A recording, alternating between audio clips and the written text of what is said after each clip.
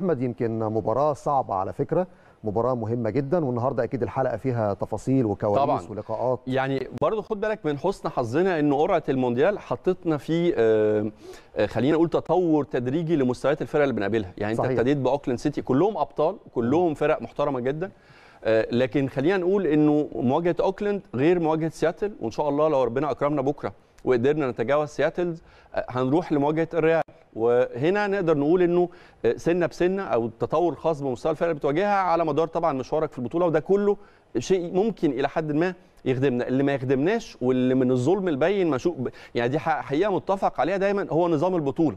يعني ما ينفعش نادي آه، بطل قارة أو ممثل لقارة يشارك في البطولة من أولها فيخوض مواجهة ثم يخوض الثانية لغاية لما يوصل للدور قبل النهائي فيجي الفريق وخصوصا بيكون فريق كبير جدا إما بطل أمريكا الجنوبية وإما بطل أوروبا بيجي جاهز ومرتاح ومحضر نفسه بشكل كبير جدا وفريق تاني منهك في آه، بدأ مشوار بطولة في مباراتين في أقل من أسبوع بالتالي بيبقى في فكرة عدم تكافؤ الفرص لحد كبير. ده أبرز النقاط اللي ممكن تكون في عدم تكافؤ الفرص نفترض مثلا لو فريق عنده لاعب تعرض مثلا للطرد.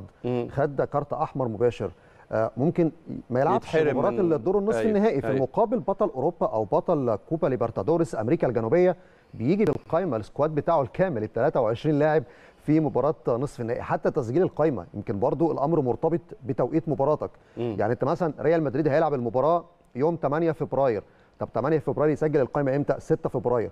الأهلي عشان يسجل قائمته سجلها 30 يناير مظبوط. فالأمور أكيد طبعا ما فيهاش تكافؤ فرص في أمور. عديدة جدا يعني. نتمنى بقى إنه مع النظام الجديد وأعتقد إن الفيفا مدي اهتمام أكبر للبطولة إنها تظهر بشكلها الجديد كان مخطط على فكرة وكان في أخبار بتقول إنه بيحاول يعمل النظام الجديد في السنة دي لكن يبدو إنها هتكون خطة مؤجلة يمكن للسنوات القادمة لكن أعتقد في حالة زياده عدد الأندية ل 24 نادي القصة هتبقى غير ونظام البطولة هيبقى مختلف صحيح تماما هو تقرر خلاص رسميا يمكن مجلس الفيفا على هامش كاس العالم في الدوحة خد قرار رسمي إن ال- الموندياليتو بقى بالشكل الأكبر 24 نادي هيكون في نسخة عام 2025 م. وساعتها هتبقى خناقة كبيرة.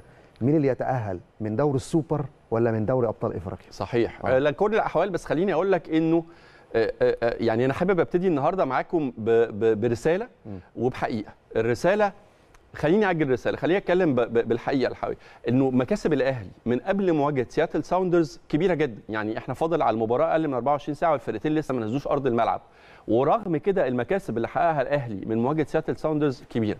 يكفي إن أنا أقول لحضرتك إنه وأنتم عارفين إنه اسم الأهلي في السنوات الأخيرة ومع مشاركاته المختلفة وإنجازاته المتعددة في بطولة كأس العالم للأندية قدر يقابل كل أبطال القارات تقريبا وقدر يحقق فوز على كل أبطال القارات زي ما اتكلمنا امبارح أنا ومحمد باستثناء قارة أوروبا.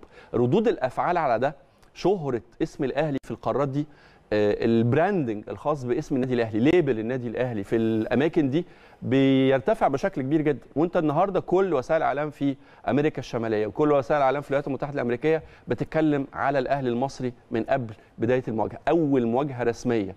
بتجمع بين آه، فريق من مصر وفريق من آه، آه، الولايات المتحدة الأمريكية هي مباراة الغد إن شاء الله اللي هتجمع بين الفرقتين فهنا إحنا بنتكلم بعيدا عن الكورة شوية إنه مكاسب الأهلي من المشاركه في البطولة وده شيء يمكن مرتبط بالرسالة اللي هتكلم فيها شوية يعني كبيرة جدا.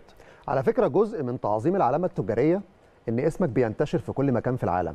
لما تتحدث النهارده الصحف الأمريكية على اسم النادي الأهلي ومكانة النادي الأهلي وعلى فكرة وكمان اتكلموا على شعبية الأهلي وجماهير الأهلي ده بيساهم بشكل كبير في تعظيم من قيمة ومكانة العلامة التجارية وده بيبقى ليه بقى أبعاد تسويقية في المستقبل أكيد صحيح. بشكل كبير دي الحقائق ولكن الرسالة الرسالة بقى الحقيقة أنا حابب أتكلم في آه، آه، يعني طبعا الناس اللي بتحاول آه، تسطح أو تسفه أو تقلل ايا كان المصطلح يعني من قيمة البطولة ومن مشاركة الأهلي في البطولة أنا الحقيقة مش معني تماما بالرد على الناس دي إنه يعني عقلياتهم بتدل على اختلال واضح وصريح لكن أنا اللي يهمني أكتر الرسالة للناس اللي ممكن ال- الأشخاص دي ولا العقليات دي تكون بتأثر فيهم. عمر ابدا عمر ابدا ما كانت مشاركة أي نادي مصري. مش بتكلم على الأهلي بس بتكلم على أي نادي مصري حتى بما فيهم الأندية المنافسة للنادي الأهلي. خارج حدود مصر ما كان آه، آه، آه، التعامل معاها يتم بفكرة ال- الحقد والغل. الناس اللي بتحاول تقلل من إنجازات الأهلي اللي اتحققت على المستوى العالمي لو ط- لو كان الأمر بإيدي طبعا أنا الناس دي كنت منعتها من الظهور على أي شاشة أو من الحديث في أي ميكروفون. لكن في الأول والآخر اللي يهمني هي القاعدة الجماهيرية اللي ممكن تكون بتتأثر بده. لأن إحنا طول عمرنا اتعودنا على إنه أي فريق بيلعب في أي بطولة بره مصر هو مش بيمثل نفسه ومش بيمثل جماهيره. هو بيمثل علم مصر وبيمثل جموع المصريين.